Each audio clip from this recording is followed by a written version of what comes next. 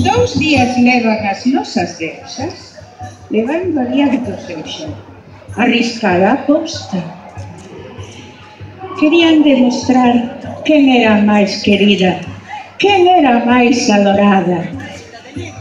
Volver sentirse importantes, nesta nova era. Eu, caminai, aviseinas, son outros tempos, outras crenzas. Vexamos Vexamos se mereceu a pena esperar. Estúpidos mortais!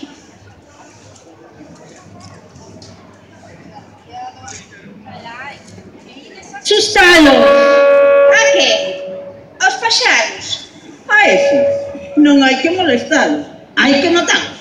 Estou de acordo con Díaz hai que facelo antes de que acaben a puntería e acaben con marcha. Era o que nos faltaba. Esquecidas e aida por viva. Cagadas.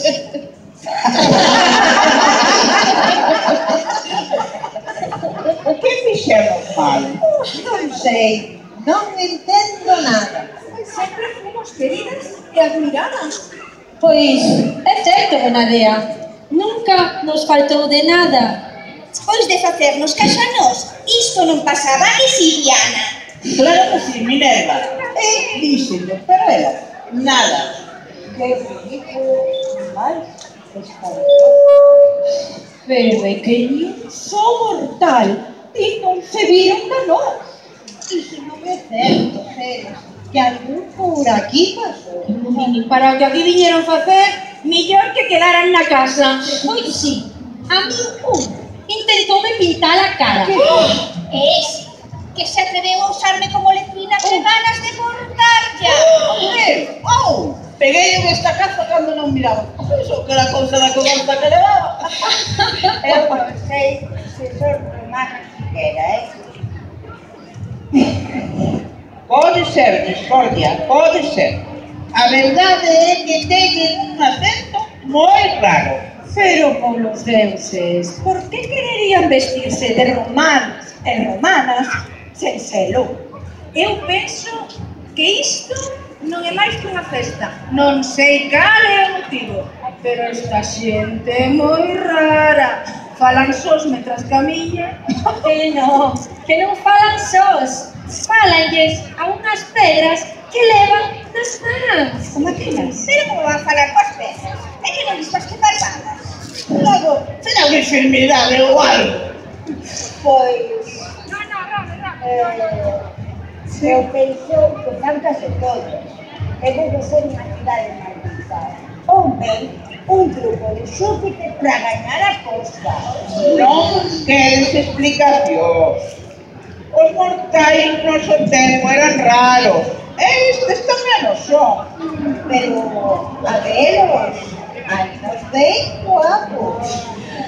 Já veis, pero elas também son muito guapas. Algo me di que nesta volta aquí não apagas nada. pois, algo teremos que facer. Non imos volver ao Olimpo cas mans baleiras. No, pero... É, certo. Eh, se, porta, se a 21, 30, os levamos como fetas. Sí, sí, tenemos abejas, pernas, ninguna. Sí, sí, sí, como se les vamos. Vamos.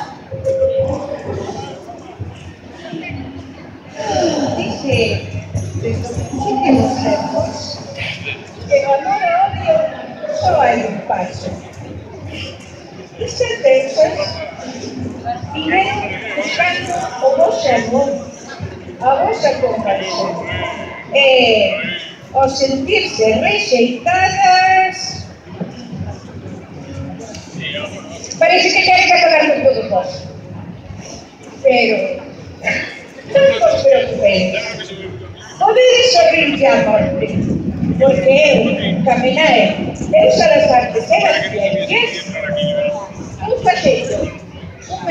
maravilla que nos, que nos fará héroes a todos y todas.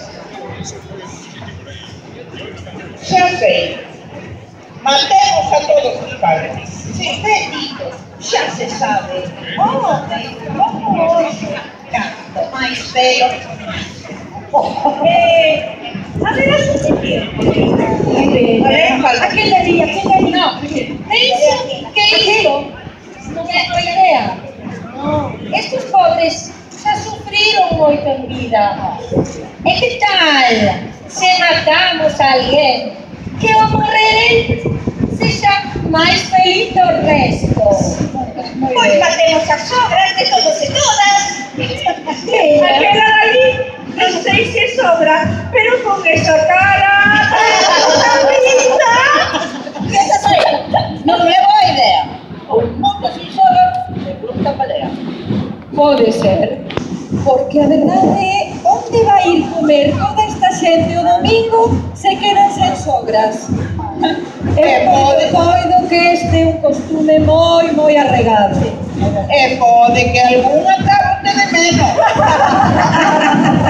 e se matamos aos ricos, non dice nada. Eu tampouco estou de acordo. Xa saltaron. O é iso, Minerva? Pero fixádevos, vedes que algún non teña pinta de rico? No, pois non.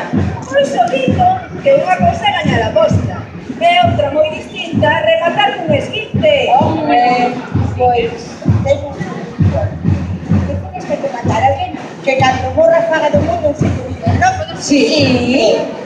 E non podes ser moito. No. Pois, matemos. Chefes. Sí. ¿Por me gusta o chefes? No. Se quedan. ¡Sí, soldada! Vamos a torre! Xuro, deusa máxima, deusa de deusas. Non falábamos de ti? Era, era un falar, muller, un falar. Ui, si, si. A mí xa se me quitaron as ganas de matar e todo. A mí tamén, ai que preguiza. Seréis traidora. Claro, traidora non. Teño unha solución. Bon, nada de mortes. Buscade deusas. Calquer cousa deste tempo que poida parecer unha ofrenda. Presentamos o botín Olimpo, gañamos a aposta, e entón, sí, por fin mandando nós viviremos como deusas. Escape. Fuerte. Izquierdas.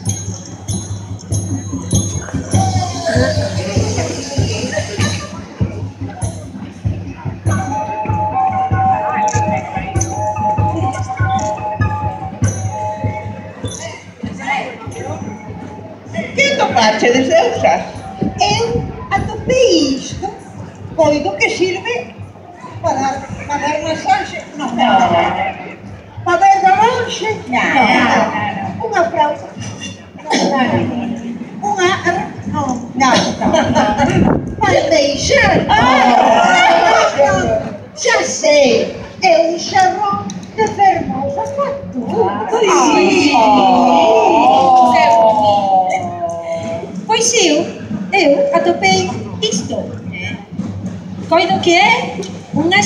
mira. Pues ya sé, un sei, um gardadenário. Pues, instrumento musical. Pues pois, então, uma luva. Não? Já sei. Un sombrero. Ah,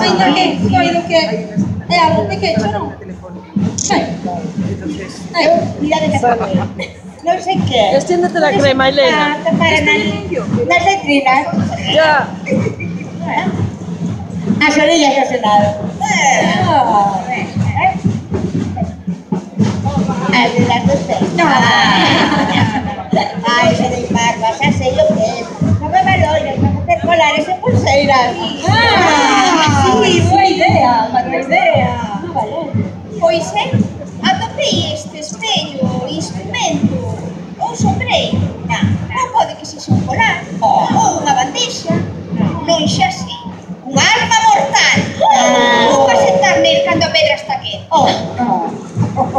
Perdón. Isto é un magnífico escudo. Ah, sí, sí, fantástico. Pois non hai ofrenda máis oh. rara que esta. Coido que é un aparello refrescador. Oh. Para tirar pedras. Respirar baixo agua. Oh,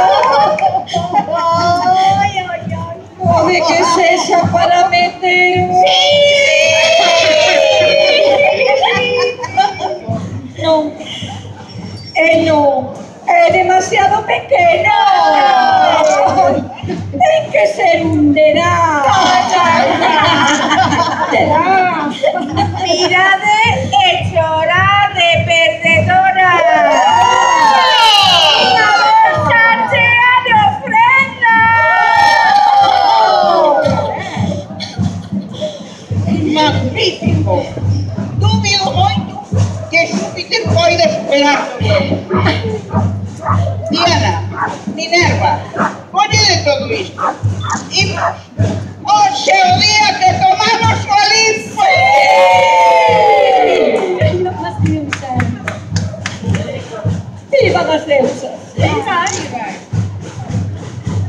Todas saímos Pero imos deixartes como desagradecidos. Máis que Que é o que propós? Propoño patentes maldicións a todos. Sí, vale. Pois é, Flora, deusa dos xardíns e da primavera, ¡Así vos a todos! Sí.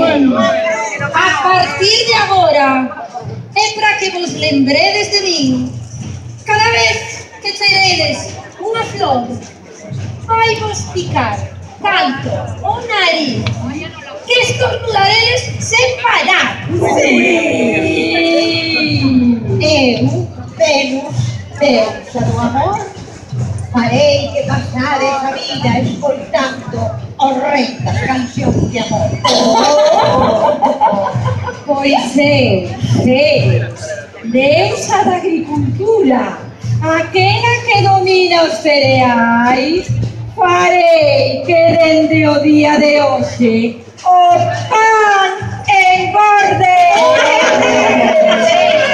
Ei, Bonadea, deixa da fertilidade, a castidade e a saúde. Parece que teníades que esperar meses para que vos visite un galego. Sí.